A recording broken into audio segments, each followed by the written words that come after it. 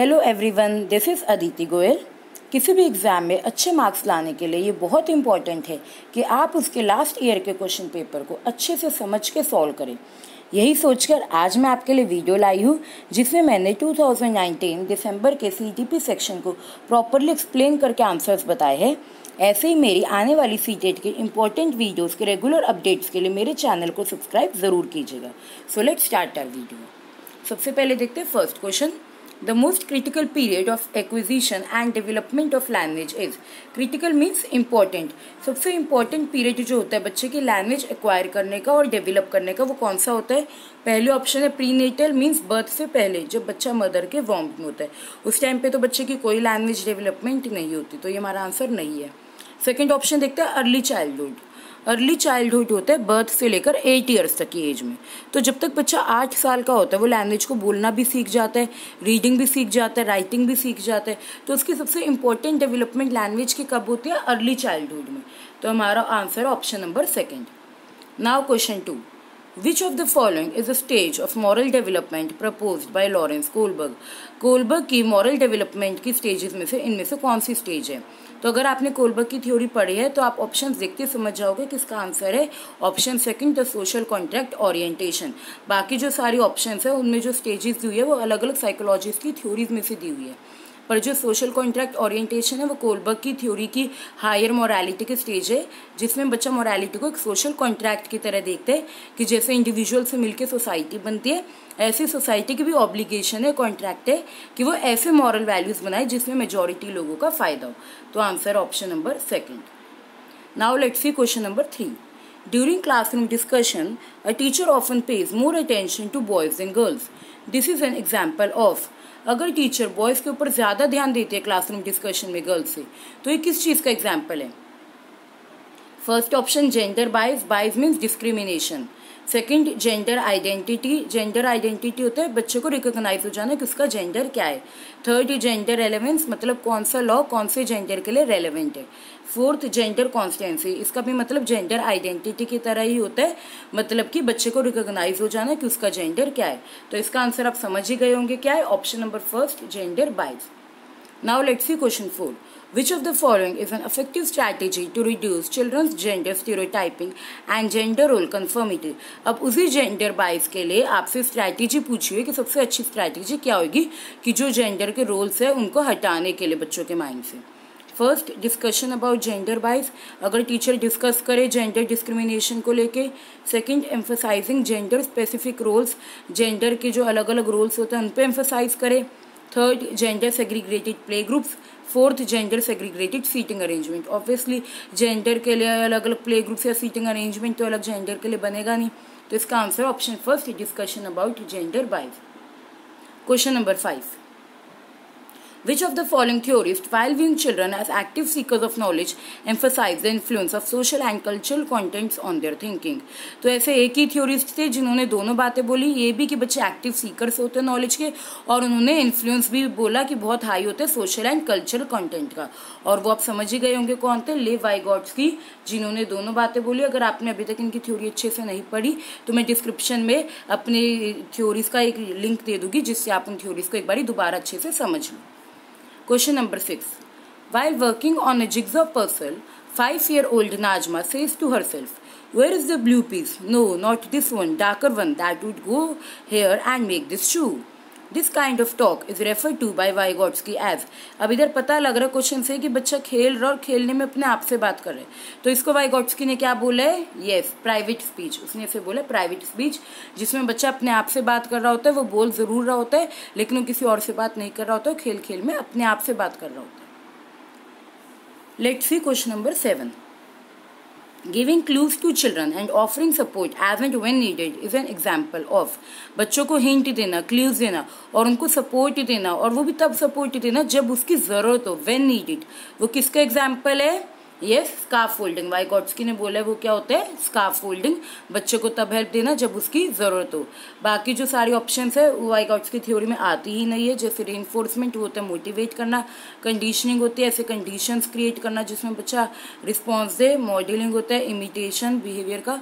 तो हमारा answer option number four scaffolding now let see question number eight which of the following behaviours characterise the concrete operational stage as propose by Jean पियाजे अगर आपने पियाजे की theory समझी है तो आपने को पता होगा कि जो कंक्रीट ऑपरेशनल स्टेज है, ये है स्टेज नंबर थ्री ठीक है? तो इसमें कौन सा करेक्टरिस्टिक होता है? पहले ऑप्शन देखते हैं हाइपोथेटिक डिडक्टिव रीजनिंग ये तो हमें पता है फॉर्मल ऑपरेशनल स्टेज होती है या हाईएस्ट होती है, जिसमें बच्चे की डिडक्टिव रीजनिंग हो जाती है.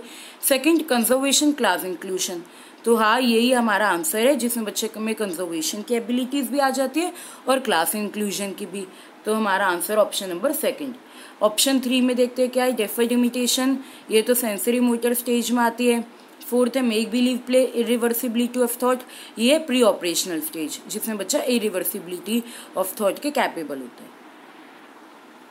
Question number nine Which of the following is a Piaget construct in the context of cognitive development of children? Piaget ने cognitive development of children के लिए किसका important role बोला? फ़र्स्ट स्कीमा तो आपने अगर पियाजे की थ्योरी अच्छे से समझी है तो आपको उसी टाइम याद आ जाएगा कि जो स्कीमा है, उसी बारे में पियाजे ने बोला कि वो बहुत इंपॉर्टेंट होता है कॉग्निटिव डेवलपमेंट के लिए। स्कीमा होती है मेंटल इमेज जो बच्चा फॉर्म करता है इस वर्ल्ड की और उसके अकॉर्डिंग उसकी कॉग्निटिव डेवलपमेंट होती है। तो हमारा आंसर है option number one schema Let's see question 10. Primary objective of assessment should be first assigning rank to students ये तो इवेल्युएशन का ऑब्जेक्टिव होता है कि बच्चे को एक रैंक देना, बच्चों को जज करना second understanding children's clarity and confusions about related concept बच्चों की अंडरस्टैंडिंग समझना क्लैरिटी समझना और उनकी कन्फ्यूज़न के बारे में समझना कॉन्सेप्ट को लेके। तो यही हमारा ऑब्जेक्टिव होता है असेसमेंट का। सबसे प्राइमरी और मेन ऑब्जेक्टिव यही होता है कि बच्चों के कॉन्सेप्ट को समझना, कि बच्चे की डेवलपमेंट कैसी हो पा रही हो कितना समझ पा रहे हो, उसकी कोई कन्फ्यूज़न तो नहीं है। तो ये हमारा असेसमेंट का ऑब्जेक्टिव होता है। हमारा आंसर है ऑप्शन सेकेंड बाकी जो थर्ड ऑप्शन है labelling students as per the score ये असेसमेंट का ऑब्जेक्टिव नहीं होता। बच्चों को लेबल करना इवेल्युएशन का ऑब्जेक्टिव होता है। मार्किंग पास और fail in the report cards ये भी इवेल्युएशन में होता है कि पास और फेल मार्क करना। और जो असेसमेंट होता है, वो प्रोसेस ओरिएंटेड होता है। ये पूरा साल चलता है बच्चे की डेवलपमेंट के लिए। तो इसका answer option number second question number eleven which of the following statement about intelligence is correct first intelligence is a fix ability determined at the time of birth only Second, intelligence can be accurately measured and determined using standardized tests. Third, intelligence is a unitary factor and a single trait. Intelligence एक single characteristic है. Fourth intelligence is multi dimensional and a set of complex abilities जी हाँ यही हमारा answer है क्योंकि intelligence जो होती है वो बहुत सारी एबिलिटीज मिला के बनती है और मल्टी डायमेंशनल है इसमें बहुत सारी डायमेंशन होती है तो हमारा आंसर ऑप्शन नंबर फोर क्योंकि जो इंटेलिजेंस है, वो कोई फिक्स एबिलिटी नहीं है, सिर्फ़ बर्थ के टाइम पे नहीं होती, ना ही उसको एग्जैक्टली exactly मेजर किया जा सकता है किसी भी टेस्ट से। क्योंकि जो इंटेलिजेंस होती है, वो मल्टी डायमेंशनल होती है। Now question number twelve Ruhi always things of multiple solutions to a problem many of which are original solutions Ruhi is displaying characteristics of अब रूही अगर एक ही प्रॉब्लम के बहुत सारे सॉल्यूशन सोच पाती है, जिसमें से बहुत सारे आंसर सही भी होते हैं तो वो किसके करेक्टरिस्टिक डिस्प्ले कर रही है? First option creative thinker second convergent thinker convergent मतलब कॉमन मैन थिंकिंग जो आमतौर पे सब लोगों की थिंकिंग होती है. Third rigid thinker fourth egocentric thinker तो इधर हमारा जो आंसर है, वो है first creative thinker creative thinker को डाइवर्जेंट थिंकर भी कहते हैं। मतलब जो कुछ हट के सोच पाए। इधर में पता लग रहा है रूही बहुत इंटेलिजेंट है। वो एक ही प्रॉब्लम के बहुत सारे सोल्यूशन सोच पा रही है और सारे सही भी होते हैं उनमें से बहुत सारे। तो ऑब्वियसली उसकी बहुत क्रिएटिव थिंकिंग है। और डाइवर्जेंट थिंकिंग को क्रिएटिव थिंकिंग भी बोलते हैं। यहाँ पे बच्चों को कंफ्यूज करने के लिए डाइवर्जेंट थिंकिंग ऑप्शन में दिया ही नहीं हुआ। क्योंकि ये तो सबको पता होता है कि डाइवर्जेंट थिंकिंग क्रिएटिव थिंकिंग होती है। तो इसका आंसर है option number first creative thinker question number thirteen In a situation of less participation of students belonging to a deprived group in teaching learning process, a teacher should अगर कोई ऐसे बच्चे हैं जो डिप्राइव्ड ग्रुप में है और वो पार्टिसिपेट नहीं करते क्लास में। तो उस सिचुएशन में टीचर को क्या करना चाहिए? फ़र्स्ट आज the teacher ask the children to withdraw from school second accept the situation third lower her expectation from such students इनमें से कुछ भी उसे नहीं करना चाहिए।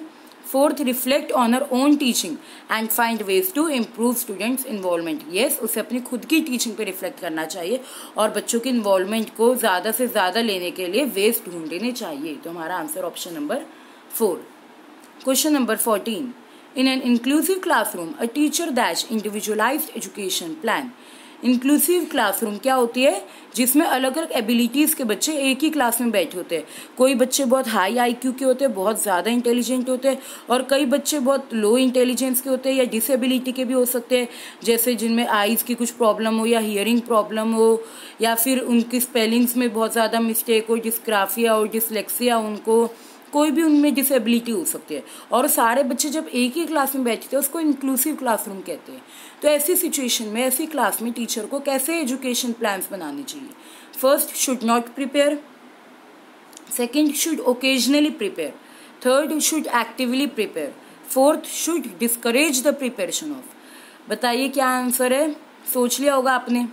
Yes yes? इसका answer option number third should actively prepare क्योंकि ऐसी क्लासरूम जहाँ पे हर बच्चे की इतनी यूनिक एबिलिटीज़ है, हर बच्चा अलग है, वहाँ पे टीचर को बहुत एक्टिवली बनाते रहने चाहिए इंडिविजुअलाइज्ड एजुकेशन प्लान हर बच्चे के लिए अलग अलग एजुकेशन प्लान बनाना चाहिए उसकी एबिलिटी के according question number fifteen the primary characteristic of children with dyslexia includes अब डिसलेक्सिया होता क्या है? रीडिंग की डिसेबिलिटी जिसमें बच्चा रीडिंग नहीं कर पाता अच्छे से। उसमें ऑप्शंस देखते हैं। First attention deficit disorder attention का तो कोई डिसऑर्डर होता नहीं इसमें। Second divergent thinking fluency in reading इसी का ही अपोजिट होता है डिसलेक्सिया में। Third inability to read fluently yes ये हमारा आंसर है option number third Now, let's see question number 16. The concept of inclusive education as educated in the Right to Education Act 2009 is based on. जो inclusive education का concept है RT में, वो किस पे बेस्ड है? अब अगर आपने राइट टू एजुकेशन एक्ट नहीं भी पढ़ी, तब भी अगर आप ऑप्शंस को बहुत ध्यान से इवेलुएट करोगे तो आपको अपने आप आंसर समझ आ जाएगा। देखिए फ़र्स्ट ऑप्शन है बिहेवियरिस्टिक प्रिंसिपल इसमें कुछ बिहेवियर से तो रिलेटेड है नहीं इंक्लूसिव में। सेकेंड है a sympathetic attitude towards disabled disabled के लिए सिंपथी रखना, कभी भी ऐसी बात को प्रमोशन नहीं मिलती जिससे सिंपथी हो डिसेबल्ड के लिए। Third right based humanistic perspective अभी इधर राइट्स की बात आ गई तो ये बिल्कुल हमारा सही ऑप्शन है, क्योंकि जो इंक्लूसिव एजुकेशन है, वो सबका अधिकार है, सबका राइट है, कि हर बच्चा, चाहे उसमें कोई भी डिसेबिलिटी वो भी नॉर्मल बच्चों की क्लास में बैठ सकता है। ह्यूमनिस्टिक परस्पेक्टिव ह्यूमनिस्टिक मतलब इंसानियत। इंसानियत के तौर पे ये बिल्कुल सही है कि सबका अधिकार है कि एक ही क्लास में बैठ के एक ही एजुकेशन ले। तो इसका answer option number third fourth है mainstreaming of disabled by offering them primary vocational education अब उनको वोकेशनल एजुकेशन तो सीधा दे नहीं देंगे मतलब वोकेशनल होते हैं जिसमें बच्चा कुछ अर्न कर पाए। तो इसका आंसर क्या है? Option number third question number seventeen in the constructivist framework learning is primarily अब कंस्ट्रक्टिविस्ट फ्रेमवर्क क्या होता है? कंस्ट्रक्टिविटी होता है जहाँ पे बच्चा अपनी नॉलेज को खुद कंस्ट्रक्ट करे। उसको टीचर बस एक्सपीरियंसेस प्रोवाइड करे या फिर गाइड करे और बच्चा ऐसे इन्वायरमेंट में अपनी नॉलेज को खुद कंस्ट्रक्ट करे, खुद बनाए। तो उसमें लर्निंग कैसी होती है? पहला बेस्ड ऑन रोट मेमोराइजेशन वहाँ पे कुछ रोट मेमोराइजेशन तो होगा नहीं मतलब रचना तो होगा नहीं। Second centred around reinforcement reinforcement होता है motivation third acquired through conditioning conditioning होता है आर्टिफिशियल ऐसी कंडीशंस क्रिएट करना जिसमें बच्चा रिस्पॉन्स दे पाए. Fourth focused on the process of meaning making यहाँ पे ये आंसर बिल्कुल अप्रोप्रिएट है, क्योंकि कंस्ट्रक्टिविस्ट क्लासरूम हमेशा फोकस होते हैं मीनिंग मेकिंग के प्रोसेस में, कि बच्चा मीनिंग खुद बना पाए। उसको मतलब बताना ना पड़े चीज़ों का। वो खुद से मतलब बना ले चीज़ों का। मीनिंग खुद फॉर्म कर पाए। तो इसका answer option number four question number eighteen naive theories that children construct about various phenomena naive theories मतलब जो थ्योरीज बच्चे ने ऐसे ही बना ली मतलब हो सकता है गलत भी हो, क्योंकि वो बच्चा इनएक्सपीरियंसड है। उसमें इतना एक्सपीरियंस नहीं है, इतनी नॉलेज नहीं है। तो जो ऐसे भी स्टार्टिंग में गलत गलत थ्योरीज बनाते हैं ना, उसे नेव थ्योरीज कहते हैं। तो उस सिचुएशन में टीचर को क्या करना चाहिए? First should be ignored by the teacher second should be punished by the teacher third should be replaced by the correct one through repetitive memorisation बार बार बच्चों को रटवाई जाए वही चीज़। Fourth should be challenged by presenting counter evidence and examples अब बच्चे ने अगर कोई गलत थ्योरी बनाई तो ये टीचर की ड्यूटी है कि उसको चैलेंज करे। कैसे उस पर काउंटर एविडेंस दे के मतलब प्रूफ दे के एग्जाम्पल्स दे के कुछ ऐसे प्रूफ और एग्ज़ाम्पल दे कि बच्चे की वो थ्योरी चैलेंज हो जाए। और बच्चा अपना दिमाग यूज़ करे नई थ्योरी फॉर्म करने के लिए।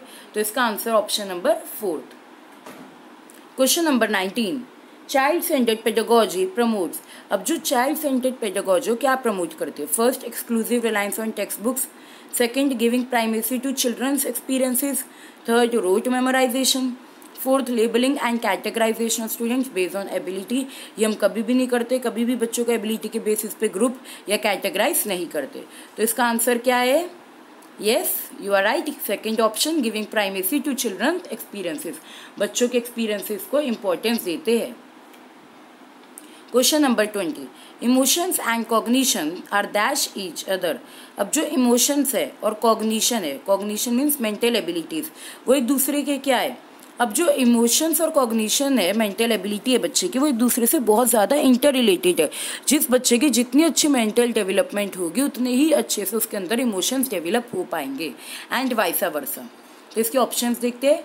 Completely separate from second independent of third interwoven with fourth not related to तो इसका आंसर आप समझ गए होंगे। ऑप्शन नंबर थर्ड है इंटरवोवन विद मतलब एक दूसरे के साथ जुड़े हुए emotions and cognition question number twenty one which of the following statement about learning is correct from a constructivist perspective अब उसी कंस्ट्रक्टिविस्ट परस्पेक्टिव से एक और क्वेश्चन बन के आ गए कि इनमें से कौन सी स्टेटमेंट लर्निंग की सही है। First learning is the process of reproduction and recall Second, learning is the process of rote memorization. Third, learning is conditioning of behaviors by repetitive association. Fourth, learning is the process of construction of knowledge by active engagement. तो learning कैसा process है कि बच्चा अपनी knowledge खुद construct करे खुद बनाए एक्टिव एंगेजमेंट से तो हमारा answer option number fourth question number twenty two presenting students with clear examples and non examples बच्चे के आगे अगर हम एग्जाम्पल्स प्रेजेंट करते हैं और नॉन एग्जाम्पल्स तो वो क्या है?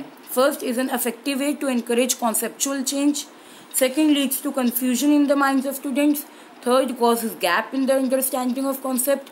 Fourth focus is on procedural knowledge rather than conceptual understanding तो इनमें से कुछ भी नहीं है सेकंड थर्ड फोर्थ में, क्योंकि ना तो ये बच्चों के माइंड में कन्फ्यूज़न क्रिएट करता, ना अंडरस्टैंडिंग में कोई गैप क्रिएट करता, ना ही उनके कॉन्सेप्ट की अंडरस्टैंडिंग को खराब करता। तो इसकी आंसर है option number first affective way बहुत अच्छा वे है। एग्जाम्पल्स और नॉन एग्जाम्पल्स प्रेजेंट करना जिससे बच्चे के कॉन्सेप्चुअल चेंज एनकरेज हो पाए। तो इसका answer option first question number twenty three. Repeatedly asking children to engage in learning activities इधर टू अवॉइड पनिशमेंट और टू गेन अ रिवॉर्ड मतलब अगर बच्चे को रिपीटेडली बार बारी बच्चे को लर्निंग एक्टिविटीज़ में एंगेज किया जाए, सिर्फ़ पनिशमेंट से बचने के लिए या गिफ्ट के लालच में बच्चे को बार बारी लर्निंग एक्टिविटीज़ कराई जाए तो उससे क्या होगा? फ़र्स्ट डिक्रीजेज एक्सट्रिंसिक मोटिवेशन इससे कम हो जाएगी एक्सट्रिंसिक मोटिवेशन एक्सट्रिंसिक मोटिवेशन होती है आउटर मोटिवेशन जो हम बच्चे को बाहर से देते हैं, कोई भी रिवॉर्ड या गिफ्ट देके तो वो कम हो जाएगी.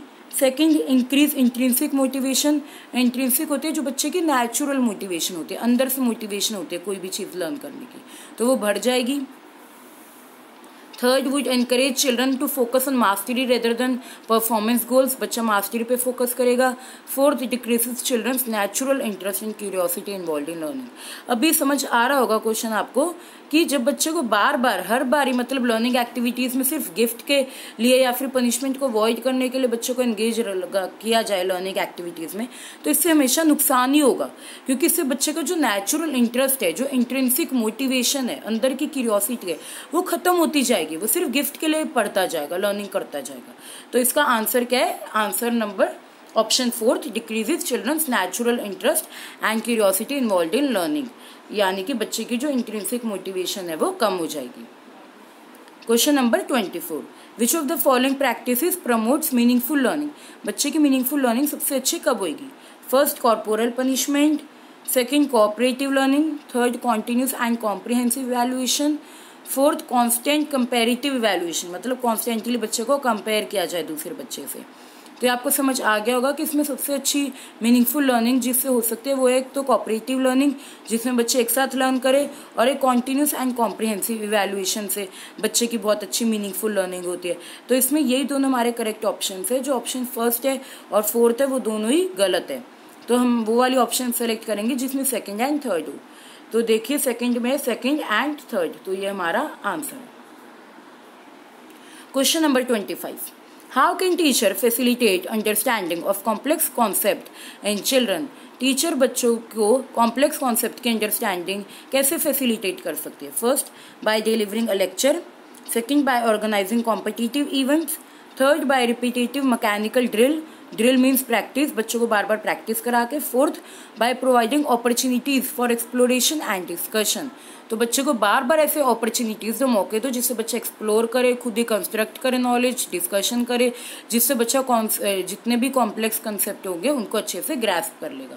तो इसकी आंसर है option number fourth by providing opportunities for exploration and discussion question number twenty six a primary school teacher can encourage children to become effective problem solver by, अब एक स्कूल टीचर जो प्राइमरी लेवल पे है, वो बच्चों को कैसे encourage कर सकते हैं अच्छे प्रॉब्लम सॉल्वर बनने के लिए? First offering materialistic reward for every small task second emphasising only on procedural knowledge third dismissing and penalising incorrect answers fourth encouraging children to make intuitive guesses and then brainstorming on the same तो हमेशा teacher को बच्चे को ऐसे atmosphere provide करना चाहिए, जिसमें बच्चा अलग अलग गैस करे एंड देन उनके उस गैसेस पे इवेल्युएशन हो ब्रेन हो और जिससे बच्चा अपने राइट right आंसर को खुद ही समझ पाए। तो इसका answer option number four encouraging children to make guesses and then brain on the same question number twenty seven In which of the following period does physical growth and development occur at a rapid pace? इनमें से कौन से period में physical growth and development सबसे जल्दी होती है first infancy and early childhood मतलब न्यू बॉर्न बेबी से अर्ली चाइल्डहुड तक second early childhood and middle childhood third middle childhood and adolescence middle childhood आपको पता होगा आठ से बारह साल की उम्र तक फोर्थ एडोलोसेंस एंड एडल्टहुड तो सबसे ज़्यादा अगर आप बच्चे की फ़िज़िकल डेवलपमेंट खुद भी सोचोगे कि कब होती है तो आप ये देखोगे कि जो बच्चा न्यू बॉर्न बेबी होता है, उसके बाद जब बच्चा आठ साल तक हो जाता है, तब उस टाइम पीरियड में उसकी सबसे ज़्यादा फ़िज़िकल डेवलपमेंट होती है। क्योंकि आप कंपेयर करो एक बिल्कुल न्यू बॉर्न बेबी को और एक आठ साल के बच्चे को तो आपको ड्रास्टिक फ़िज़िकल चेंज दिखाई देगा। तो इसके आंसर क्या है? Option first infancy and early childhood जो मैक्सिमम जिसमें फ़िज़िकल ग्रोथ एंड डेवलपमेंट होती है। Question number twenty eight which of the following is not a principle of development अब यहाँ पे पूछे not a principle of development पहला development is life long second development is modifiable मतलब changes आ सकते हैं. Third development is influence by both heredity and environment fourth development is universal and cultural contents do not influence it अब क्या development का कोई principal ऐसा है जिसमें वो ये कहे कि कल्चर का कोई इन्फ्लुएंस होता ही नहीं है डेवलपमेंट पे? बिल्कुल भी नहीं कल्चर का इन्फ्लुएंस होता है डेवलपमेंट में। तो इसका answer option number fourth question number twenty nine the primary cause of individual variation is मतलब जो हर कोई इंसान अलग अलग होते हैं इंडिविजुअल्स में तो वेरिएशन होते हैं, उसके मेन रीजन क्या है? First genetic code received by individuals from birth parents जो हेरिडिटरीली बच्चे रिसीव करते हैं। Second the inborn characteristics third environmental influence fourth complex interplay between heredity and environment तो जो जितने भी इंडिविजुअल वेरिएशन होते हैं बच्चे में, वो सारे दोनों ही रीजंस के कारण होते हैं। हेरिडिटी भी एंड इन्वायरमेंट भी। किसी भी एक कम पूरी तरह से रोल नहीं कह सकते, ना ही हेरिडिटी का और ना ही इन्वायरमेंट का। दोनों हेरिडिटी और इन्वायरमेंट मिलके बच्चे के अंदर सारी डेवलपमेंट का कॉज होते हैं। तो इसका आंसर क्या है? Option number four the complex interplay between the heredity and environment उसी के कारण इंडिविजुअल वेरिएशन होती है। Let's see question number 30 which is our last question. Which of the following are examples of secondary socializing agency? अब इधर secondary socializing agency पूछे primary socializing agency क्या हो गई जैसे बच्चे की फैमिली होती है जिससे बच्चा सबसे पहले socialization सीखता है फैमिली हो गई उसमें उसके भाई बहन हो गए नेबर्स हो गए वो सब प्राइमरी है एंड सेकेंडरी होते हैं जब बच्चा अपने घर के बाहर पैर रखते हैं तो जितनी भी दुनिया उसके घर के बाहर होती है वो सब सेकेंडरी में आते हैं तो हम ऑप्शन देखते हैं। फ़र्स्ट है फैमिली एंड नेबरहुड ये तो प्राइमरी है. सेकंड फैमिली एंड मीडिया इसमें फैमिली प्राइमरी है तो ये ऑप्शन नहीं हो सकती थर्ड स्कूल एंड मीडिया अब स्कूल भी और मीडिया भी, दोनों ही बच्चे के घर के बाहर की दुनिया स्कूल में, जब वो जाते हैं तो बिल्कुल नए बच्चे, बिल्कुल नई न्यू टीचर होती है, जो बच्चे की सोशलाइजिंग एजेंसी होती है एंड मीडिया जिससे बच्चा सारी इन्फॉर्मेशन को गैदर करता है न्यूज़ वगैरह देखता है. तो ये होती है सेकेंडरी सोशलाइजिंग एजेंसी जो हमारी फोर्थ ऑप्शन है मीडिया एंड नेबरहुड उसमें नेबरहुड आ गया जो कि प्राइमरी है. तो हमारा आंसर क्या ऑप्शन नंबर थर्ड अब मैं सम उम्मीद करती हूँ कि आपको अच्छे से सारे कॉन्सेप्ट बहुत अच्छे से समझ आ गए होंगे सी सेक्शन के।